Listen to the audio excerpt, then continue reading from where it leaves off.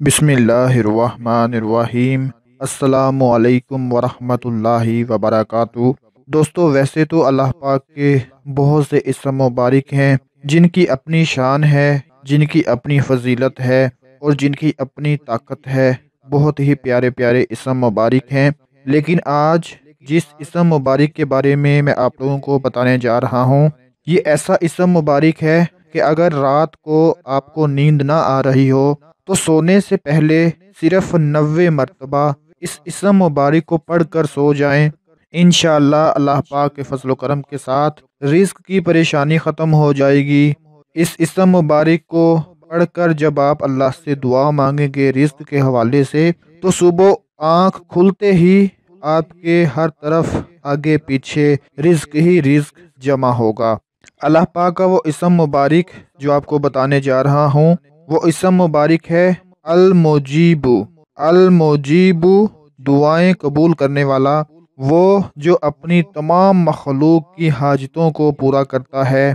یا مجیب، اس نام کا ورد کر کے خدا سے جو دعا مانگی جائے، وہ اس دعا کو قبول کر لیتا ہے۔ چاہے وہ رزق کے حوالے سے ہو، دولت کے حوالے سے ہو، کسی بھی پریشانی کے حوالے سے ہو آپ اس اسم مبارک کو صرف نوے مرتبہ رات کو پڑھ کر سو جائیں، اس کے بعد آپ خود دیکھیں گے کہ صبح آنکھ کھلتے ہی آپ کے گھر میں ہر طرف رزق ہی رزق ہوگا، رزق کی برکتیں ہوں گی رحمت نازل ہو جائیں گی۔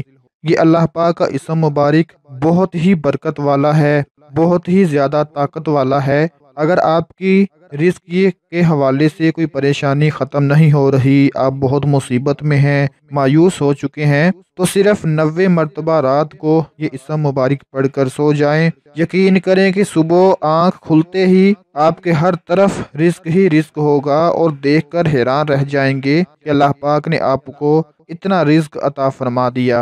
اور اس کے ساتھ ساتھ آپ لوگوں کو بتاتا چلوں کہ سیدنا عمر فاروق رضی اللہ تعالی عنہ نے ایک گورنر کو روانہ کرتے ہوئے پوچھا، اگر تم کبھی چور پکڑو تو کیا سزا دو گے؟ گورنر نے جواب دیا، اس کے ہاتھ کاٹ دوں گا۔ تو حضرت عمر رضی اللہ تعالی عنہ نے بدلے میں جواب دیا، اس گورنر کو کہ اگر چور نے بھوک کی وجہ سے چوری کی تو میں تمہارے ہاتھ کاٹ دوں گا۔ دوستو، حضرت عمر کے دور میں اس طرح کا عدل و انصاف ہوتا تھا۔ لیکن آج اگر آپ اپنے اس دور میں بات کریں تو ہمارے گورنر جو کہ رشوت اور کرپشن میں ڈوبے ہوئے ہیں، غریبوں کا خیال نہیں کسی کو۔ کوئی مر رہا ہے، کوئی جی رہا ہے، کسی کا کوئی بھی خیال نہیں۔ میں اللہ پاک سے دعا کرتا ہوں کہ اللہ پاک ہمارے حکمرانوں کو عدل و انصاف کرنے کی توفیق اور ہمت عطا فرمائے اور غریبوں سے لے کر امیروں تک ہر ایک کو انصاف دلانے کی ہمت عطا فرمائے۔ اللہ پاک کے اس اسم مبارک کو ضرور پڑھ لیں تاکہ آپ کی پریشانی ختم ہو جائے۔ اپنا بہت سارا خیال رکھیں، اپنی دعاؤں میں یاد رکھیں۔ اللہ حافظ۔